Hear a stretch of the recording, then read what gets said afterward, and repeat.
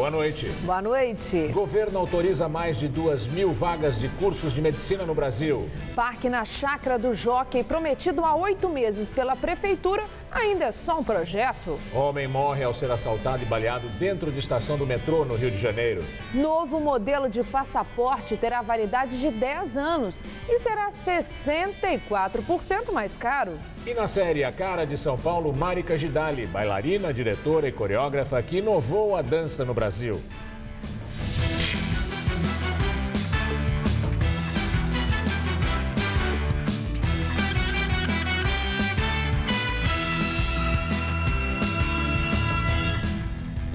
Há oito meses, a Prefeitura encampou o terreno da Chácara do Jockey, na zona oeste de São Paulo, e prometeu transformá-lo num parque.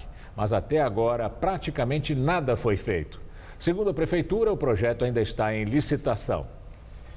A placa anuncia: aqui vai ter um parque, mas de concreto mesmo, só o cimento do gradil do terreno e alguns homens trabalhando na construção de uma EMEI e de uma SEI, que ficarão no mesmo terreno, mas não fazem parte do projeto do parque prometido pela Prefeitura. O terreno de 150 mil metros quadrados foi entregue ao município em outubro do ano passado para pagar dívidas de IPTU que o Jockey tinha.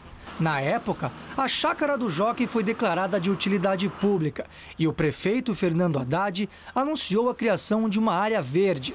O campo chegou a abrigar o treinamento dos cavalos, mas hoje é ocupado por uma escolinha de futebol, que será mantida. Para nós vai ser muito bom, para os pequeninos muito bom e para os moradores mais ainda, porque tem uma área de lazer onde não tem São Paulo e aqui dentro nós temos isso. Segundo a prefeitura, serão investidos 30 milhões de reais para transformar este espaço em um parque. A promessa é construir aqui quadras esportivas, pistas de skate e também trilhas para a caminhada. Mas até agora, oito meses após a aquisição deste espaço, muito pouco foi feito.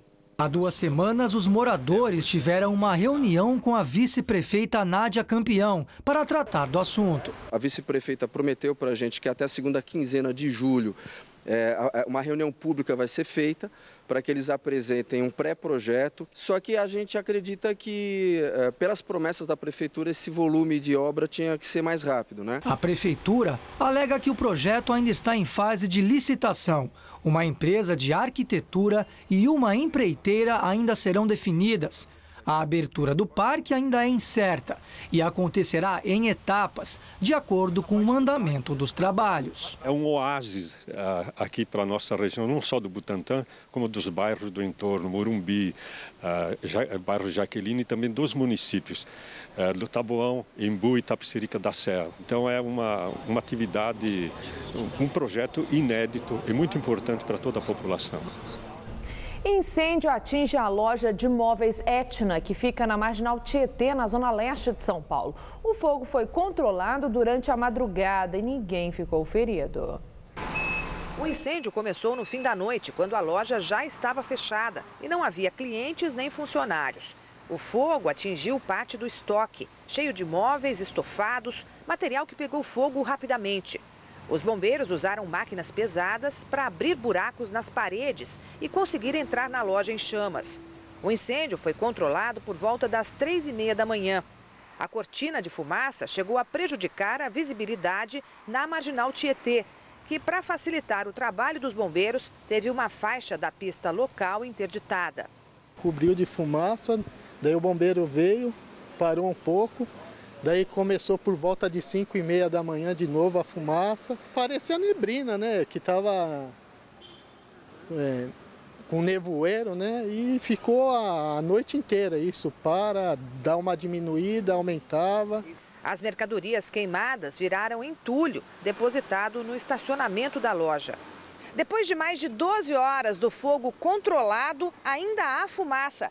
E os bombeiros continuam à procura de pequenos focos, num trabalho de rescaldo que pode entrar pela noite. Só depois que as equipes do Corpo de Bombeiros deixarem a loja é que será feita uma perícia para investigar o que causou o incêndio. Essa unidade da loja, inaugurada em 2007 com 11 mil metros quadrados de área, só deve reabrir ao público na semana que vem. Um homem foi assassinado num assalto no metrô do Rio de Janeiro. Até agora, ninguém foi preso. Imagens que circularam nas redes sociais mostram a vítima no chão dentro da estação uruguaiana do metrô. Segundo a polícia, o passageiro tinha 46 anos. Testemunhas disseram que ele carregava uma grande quantidade de dinheiro. De acordo com o metrô, o homem foi abordado por três criminosos, um deles armado. Foram disparados três ou quatro tiros. Outra pessoa foi atingida na perna por estilhaços de bala e socorrida no local. A estação de metrô ficou fechada temporariamente. Na Operação Lava Jato, documentos analisados pela Polícia Federal podem comprovar delações premiadas, segundo as quais a empreiteira Odebrecht tinha acesso a informações privilegiadas da Petrobras e influenciava nas licitações. Em duas mensagens de 2007, Rogério Araújo, diretor da Odebrecht, combina a participação da empreiteira na licitação para as obras de terraplanagem na refinaria Abreu e Lima, em Pernambuco. Ele teria informações sobre o orçamento interno do projeto que eram confidenciais da Petrobras. Rogério está preso. Vamos agora ao comentário de Josias de Souza, direto de Brasília. A convite do prefeito do Rio de Janeiro, Eduardo Paes, a nata do PMDB visita hoje e amanhã a cidade das Olimpíadas. Vão passar pelo Rio de Janeiro Michel Temer, Eduardo Cunha, ministros do PMDB e algo como 40 eh, deputados federais da legenda. Participam de um jantar hoje à noite na casa de Eduardo Paes e visitarão as obras das Olimpíadas. Essa pagelança do PMDB no Rio tem o objetivo de levar o nome de Eduardo Paes à vitrine como uma alternativa do PMDB à sucessão presidencial de 2018. Eduardo Paes é uma liderança regional, combina mais com a disputa pelo governo do Estado, por exemplo, mas um pedaço do PMDB imagina que as Olimpíadas do ano que vem darão a ele uma projeção nacional. Antes de ganhar o país, Eduardo Paes vai ter que ganhar o próprio PMDB. O nome dele está longe de ser uma unanimidade no partido. Um grupo do PMDB sonha em atrair gente de fora para ser candidato da legenda. Esse grupo quer atrair José Serra, que é um tucano que hoje está meio sem espaço no PSDB. Esse grupo do PMDB deseja fazer de Serra o candidato do partido à sucessão de 2018. Poucas vezes uma sucessão presidencial foi tão antecipada como essa de 2018. Deve-se esse fenômeno à fragilidade do governo Dilma Rousseff. Os partidos enxergam no governo Dilma uma espécie de fim de ciclo do PT no poder federal. É grande também a ebulição no PSDB. Os tucanos, depois de perder quatro sucessões presidenciais para o PT, sonham em retornar ao Palácio do Planalto em 2018, talvez até antes. Dessa vez, Aécio Neves não está só. O governador de São Paulo, Geraldo Alckmin, se equipa para disputar a vaga de candidato à presidência com Aécio. É natural que os partidos se mexam. O que é lamentável nesse jogo todo é que os nomes apareçam mais do que as ideias.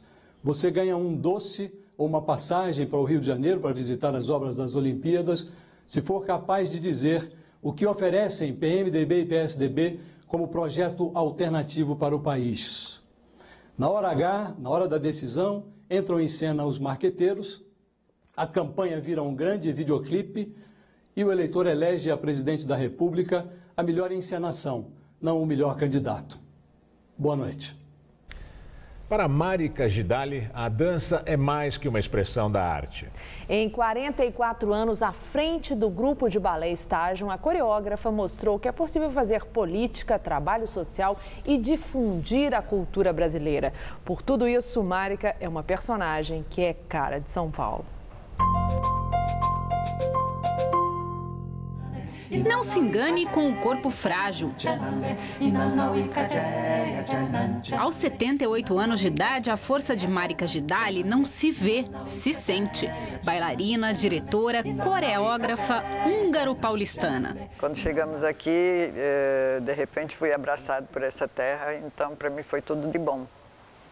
Que é a primeira vez que eu não tive que ficar com medo de cair bomba ou então alguém está me perseguindo. Há 10 anos fora dos palcos, ela continua à frente da companhia Balé Estágio, que criou em 1971 com o marido, o também bailarino e coreógrafo Décio Otero. Eram tempos difíceis para a arte. Nasce na ditadura e veio com uma, uma ideia de sobreviver, que já era meio perigoso, né? Sobreviver aqui naquele momento. Além de levar arte para o Brasil inteiro, o Balé Estágio também foi o primeiro a trazer a música e elementos da cultura brasileira para os palcos de dança. E isso fica bem claro aqui nas paredes da sede da companhia, onde estão os cartazes de todo esse repertório. O estágio já dançou Adonira Barbosa, Vila Lobos, Chico Buarque de Holanda, encenou Ariano Suassuna. Nestes 44 anos foram encenadas mais de 80 coreografias. Para mim, desde Lago do Cisne até o balé mais contemporâneo, eu, se é bem feito, para mim é maravilhoso. O nosso caminho é esse. O lado político e social também fazem parte dessa trajetória. Márica coordenou por sete anos um trabalho de dança dentro da antiga FEBEM. Hoje, o estágio recebe jovens carentes no projeto Joaninha. O trabalho já chegou a atender 300 jovens, mas está sem patrocínio. Mesmo assim, resiste com 70 alunos, totalmente custeados pela companhia. E o foco é levar essa coisa da arte, da dança para frente, lutar pelas ideias da gente, na chuva, na trovoada, com sol, sem sol. A gente está aí trabalhando. E assim vamos, se Deus quiser.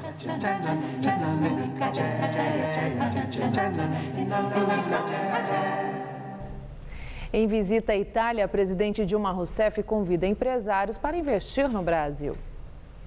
Dilma desembarcou em Roma nesta manhã, vinda da Rússia, onde participou da cúpula dos BRICS. Ela almoçou com o presidente italiano Sérgio Mattarella. Depois encontrou-se com José Graziano, diretor-geral da FAO órgão da ONU para Alimentação e Agricultura. Ele foi responsável pelo programa Fome Zero no início do governo Lula. Dilma também se reuniu com o primeiro-ministro da Itália, Matteo Renzi. Disse que apresentou a ele e também ao presidente Mattarella o novo plano de concessões do governo brasileiro. O projeto prevê a privatização de aeroportos, portos, rodovias e ferrovias e espera atrair mais de 198 bilhões de reais em investimentos. Discutir tanto com o presidente quanto com o primeiro-ministro as oportunidades de investimento que se abrem no Brasil, na área de ferrovias, por exemplo. Né? Várias empresas italianas podem participar dos leilões, assim como na área de rodovias, portos e aeroportos. Eu, na verdade, convidei todos os empresários italianos a intensificarem ainda mais sua presença no Brasil, por meio da participação nessa nova fase do programa. Os Ministérios da Educação e da Saúde vão abrir 2.290 vagas para o curso de medicina em escolas particulares de 10 estados.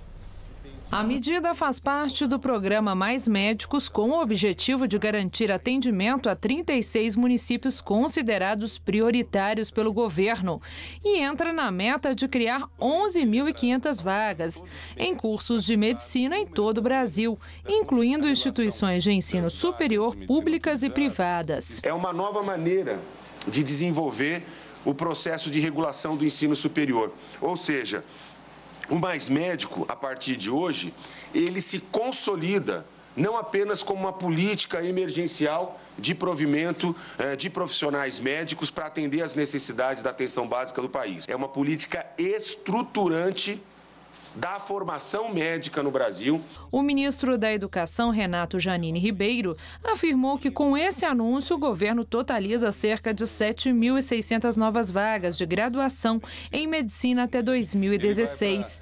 Segundo ele, a medida deve levar atendimento médico para o interior do país. Foi apresentado hoje um novo modelo de passaporte brasileiro. O documento passa a ter validade de 10 anos. O passaporte comum continua azul, mas a capa ganhou cinco estrelas, representando a constelação do Cruzeiro do Sul e a inscrição Passaporte Mercosul em amarelo. O valor do novo documento também mudou, passou de 157 reais para 257 reais. O ministro da Justiça, José Eduardo Cardoso, justificou o aumento, dizendo que o valor tinha como base a inflação. A taxa para emissão do passaporte não sofria alteração desde dezembro de 2006. As novas expedições e as renovações já obedecem às novas regras. Quem possui o documento antigo pode continuar usando até o prazo de validade. O Anime Friends, o maior festival de cultura pop da América Latina, começou hoje em São Paulo.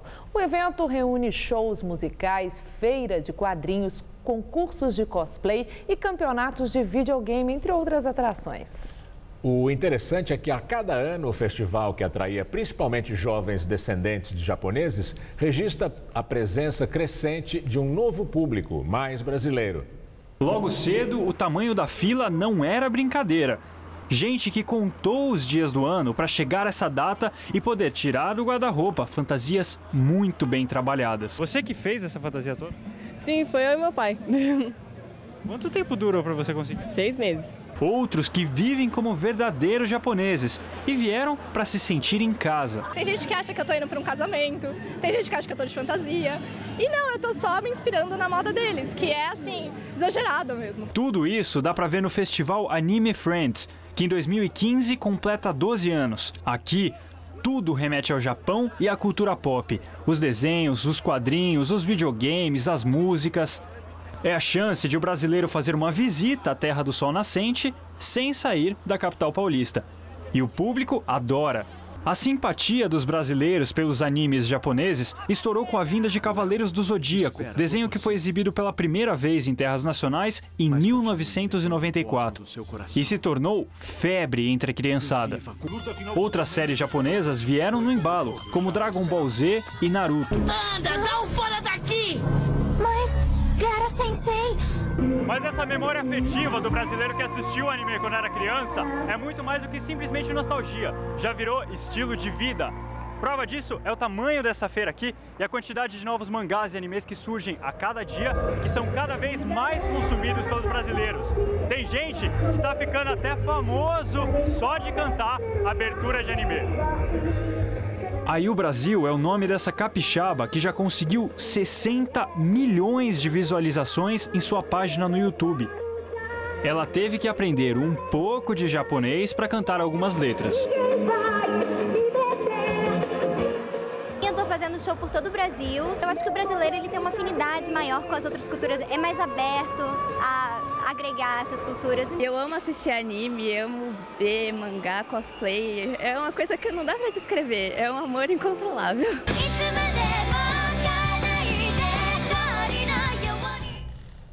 O festival Anime Friends 2015 fica no Campo de Marte, zona norte da capital. Serão dois finais de semana, neste e no próximo.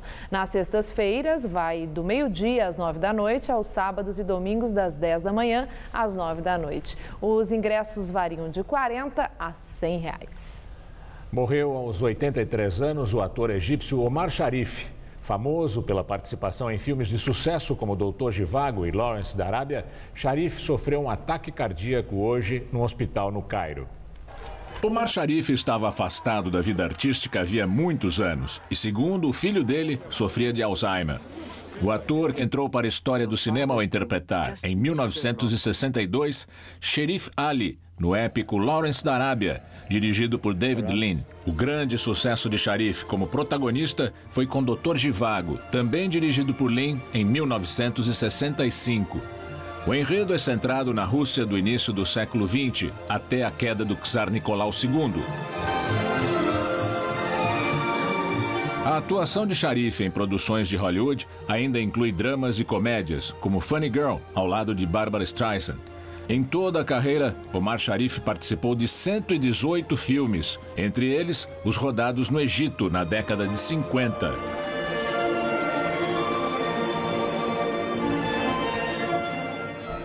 A Acontece em São Paulo a quinta edição da Expo Pizzaria. As pizzas saudáveis se destacam neste ano.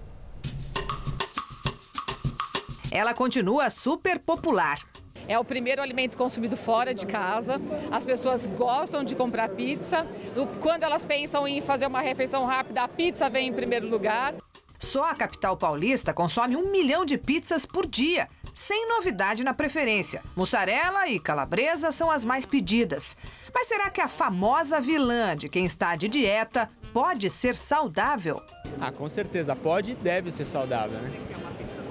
A pizza saudável a gente parte da integral, né, que tem mais fibras, então ela é, é considerada mais saudável. Os queijos vegetais hoje, hoje, em dia também. Também temos os queijos magros também, né, que a gente tá, pode estar tá usando é, com lactose, mas queijos mais magros. E verduras, né?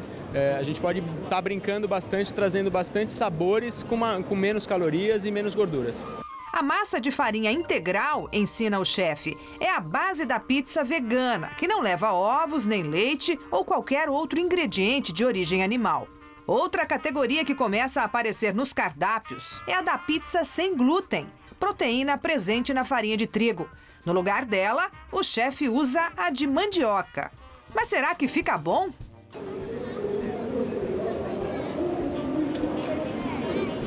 Muito boa. Percebeu essa massa é de quê? De mandioca. Olha, diferente. Ela lembra muito a tapioca, né? Tem sabor.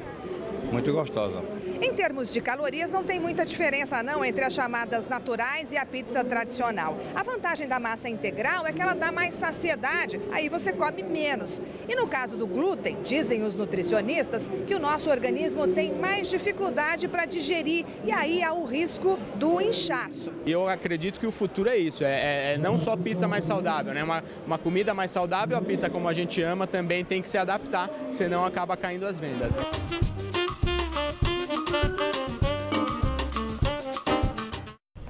A feira acontece no Expo Center Norte, no pavilhão amarelo, e vai até amanhã. A entrada custa 50 reais. E você vai ver a seguir: médico nos Estados Unidos é condenado por indicar tratamento de quimioterapia para pacientes sem câncer. E o drama dos imigrantes no Mediterrâneo. A Guarda Costeira Italiana resgata centenas de pessoas em alto mar. Sabe quem mais vai curtir esse feriadão? Quem aproveitar o festival Taxa Zero Chevrolet. Só até sábado você encontra os nossos melhores carros sem absolutamente nada de juros. Chevrolet Zero com taxa zero. Essa você não pode perder. Não é só isso não. Onix Seleção com os melhores itens de série, só 39.990 com taxa zero em 36 vezes. Festival Taxa Zero Chevrolet. Aproveite o feriadão para sair de carro novo. Se você quer estudar jornalismo, relações públicas, publicidade e propaganda ou rádio, TV e internet, a Faculdade Casper Liber é o seu lugar. Quer conhecer? Eu te levo! A gente aprende na sala de aula e também em laboratórios de rádio, fotografia, edição de imagens e estúdios de TV. Você também pode colaborar em revistas, sites, programas de TV e rádio laboratoriais. E tem oportunidade de estágio dentro da Fundação Casper Libero. São mais de 60 anos de tradição numa localização incrível. Faculdade Casper Libero, formando os melhores profissionais da comunicação. Quer saber mais? Acesse nosso site no Todo Seu de hoje, a gente vai entender como as mães equilibram suas carreiras e a educação dos filhos. Tem entrevista com o ator André Dias e o um musical com Tiago Varzé. Amarelo deserto e seus temores. Pode ficar ligado Todo Seu, que é hoje às 10h30 da noite e eu tô aqui te esperando. Não é?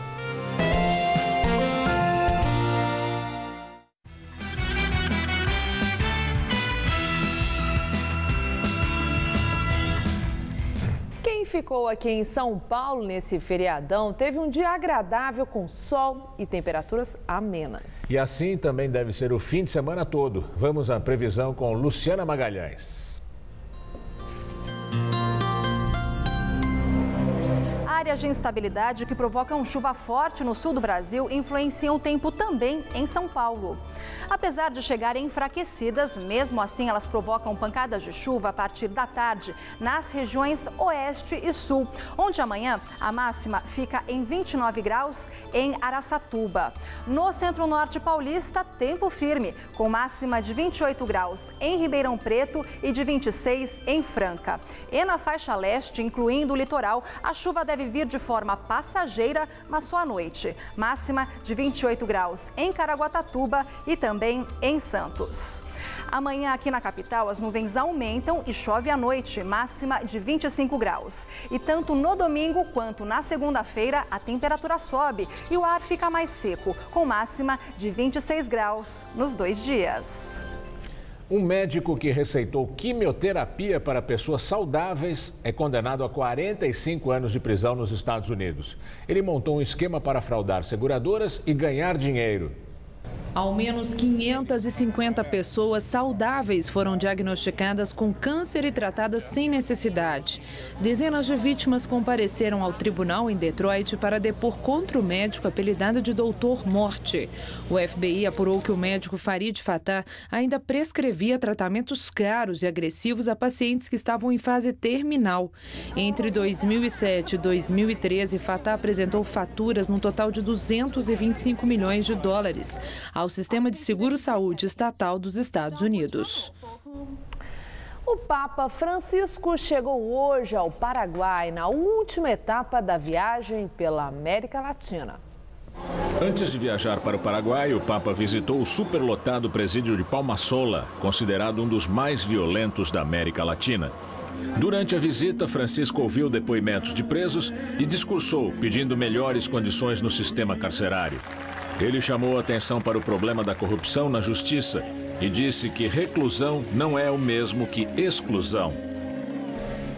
A proposta de reforma enviada pela Grécia aos credores europeus foi considerada minuciosa pelo Eurogrupo. Os negociadores disseram que o governo grego aceitou fazer algumas concessões. O primeiro-ministro grego Alexis Tsipras apresentou a proposta ontem aos credores. Os principais nomes da oposição conservadora grega apoiaram o conjunto de medidas anunciados por ele.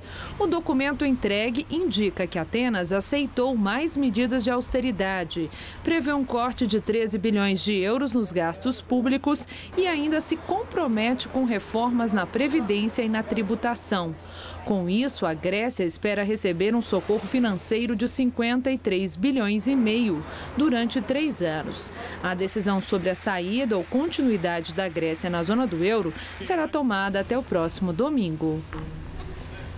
823 imigrantes da Líbia foram resgatados hoje pela Guarda Costeira Italiana em oito operações de salvamento. Desde o começo do ano, mais de 70 mil imigrantes chegaram em território italiano. O número é recorde, supera o primeiro semestre do ano passado, em que o país registrou 64 mil chegadas. O número de imigrantes em busca de proteção internacional na União Europeia subiu 68% nos primeiros cinco meses de 2015, em relação ao mesmo período do ano passado. Mais de 150 150 mil migrantes chegaram à Europa pelo Mediterrâneo desde o início do ano, segundo a Organização Internacional para as Migrações. Mais de 1.900 pessoas morreram durante a travessia. A União Europeia prevê conceder asilo a 60 mil imigrantes. A Alemanha e França anunciaram que vão receber quase um terço desse total para auxiliar a Itália e a Grécia, países na linha de frente da onda migratória. A edição das 10 do Jornal da Gazeta fica por aqui. Uma boa noite para você. Fique agora com Rony Fon no Todo Seu. Boa noite. Logo mais 11h30 da noite, confira uma entrevista com Klein do Ultraja Rigor no Ouça. Assista agora. Todo Seu.